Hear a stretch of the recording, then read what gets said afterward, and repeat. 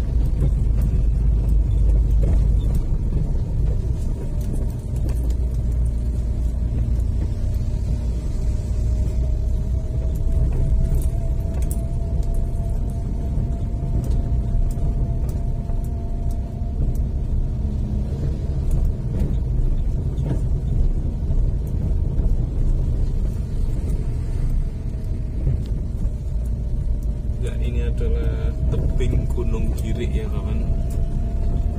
Ini adalah tebingnya Gunung Girik.